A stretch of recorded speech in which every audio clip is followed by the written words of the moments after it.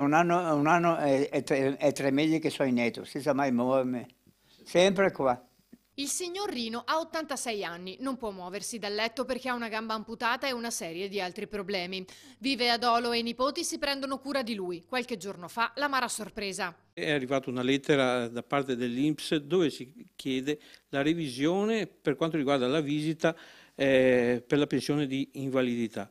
Per disposizione del medico, certificata, il signor Rino può spostarsi solo in ambulanza. Così accade per tutte le visite di controllo. Ma l'Inps non ci sente nonostante tempo fa la visita domiciliare ci fosse stata. La prima volta che hanno assegnato la pensione di invalidità il, il, medico legale dell'Inps è venuto qua, ha constatato la gravità de, delle condizioni dello zio e eh, ha certificato e la pensione gli hanno data alla fine.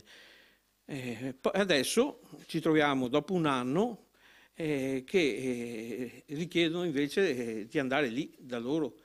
Eh, non so in che maniera po potremo fare perché provo a immaginarsi lei portare un ammalato davanti alla sede di, in via Fogazzaro a Mestre, che siamo in pieno centro Mestre, eh, con un'ambulanza, scaricarlo con una barella, entrare dentro i locali dell'Inps.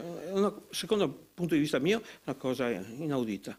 Anche il Tribunale del Malato di Dolo è intervenuto senza ottenere risposta e in tutta questa burocrazia a farne le spese sono i malati.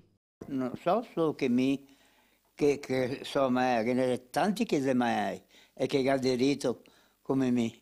Eh, chi se ora chi si vergogna.